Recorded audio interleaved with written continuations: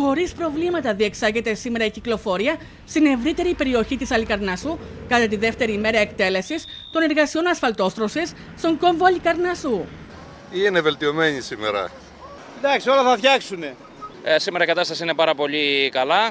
Ε, τόσο εχθές όσο και σήμερα, 14 αστυνομικοί στο σύνολο επιχειρούν με τη ρύθμιση κυκλοφορίας σε κομβικά σημεία, σε διασταυρώσεις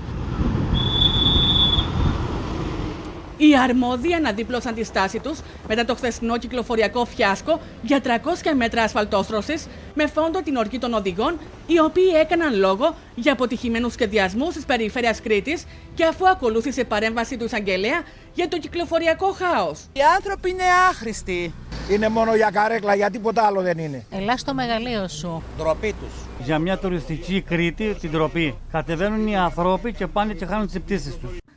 Χθες το απόγευμα, στο επίμαχο τμήμα, η λοφόρο Καζαντζίδη, στο δυτικό τμήμα της, έγινε διπλής κυκλοφορίας, προκαλώντας κυκλοφοριακή ανάσα, ενώ αύριο το απόγευμα μέχρι το βράδυ θα πραγματοποιηθούν τελικά οι εργασίες για την τελική ασφαλτόστρωση στο ανατολικό τμήμα και παρά το γεγονός ότι οι αρμόδιοι έθεταν ζητήματα ασφαλείας. Το υπόλοιπο κομμάτι, ε, από ό,τι υπόθηκε και, και χθες η σύσκεψη που έγινε στο γραφείο του ταξιάρχου, θα γίνει αύριο νυχτερινές ώρες. Η εναλλακτική το να γίνονται τα έργα νυχτερινές ώρες ή ώρες που δεν υπάρχει κίνηση είναι αυτή που κάνει στην Ευρώπη. Οπότε λέτε καλό είναι οι αρμόδιοι όταν υπογράφουν κάποια συμβάση έργων να το θέτουν ως όρο. Όταν γίνεται μια σύμβαση έργων, ας προβλέπουν να δώσουν κάτι παραπάνω, να γίνονται απογευματινές ώρες, προκειμένου να μην γινόμαστε ρεζίλοι σε όλους τους επισκέπτες τη Κρήτης, προκειμένου να μην ταλαιπωρούνται οι εργαζόμενοι, οι οποίοι γυρνάνε σε όλη την Κρήτη για να εξυπηρετήσουν τον κόσμο να φέρουν λεφτά στην Κρήτη.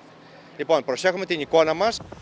Πέρα από τους οδηγούς και τους επαγγελματίες που τόνιζαν την ανάγκη τα έργα να διεξάγονται νυχτερινές ώρες σε κομβικά σημεία, όπως γίνονται σε άλλες ευρωπαϊκές χώρες, ακόμα και η τροχία Ηρακλείου έθεσε το επίμαχο ζήτημα στη διάρκεια χθεσινής σύσκεψης. Ειδικότερα εάν κοπεί μια κεντρική αρτηρία ε, που θα επιφέρει ε, μεγάλη κυκλοφοριακή συμφόρηση στα οχήματα και τα λεπορία των συμπολιτών, ναι, εκείνες τις ε, φορές θα πρέπει να γίνονται κατά τις νυχτερινές ώρες. Τους είπαμε ότι εμείς μπορούμε να παρέχουμε ως υπηρεσία και την ασφάλεια προκειμένου αυτές οι εργασίες να γίνονται κατά τις νυχτερινές ώρες και να μην ταλαιπωρεί ο κόσμος. Αρκετοί τουρίστες έχασαν χθες τις πτήσεις τους, ενώ αναστάτωση υπήρξε και στους τουρίστες κρουαζιέρας, καθώς ορισμένες εκδρομέ τεινάχτηκαν στον αέρα εξαιτίας του κυκλοφοριακού χάους χάσανε ένα μέρος της εκδρομής και υπήρξε πρόβλημα. Υπήρχαν αρνητικά σχόλια. Ήταν σε διάφορες εκδρομές, δεν είναι μόνο μία.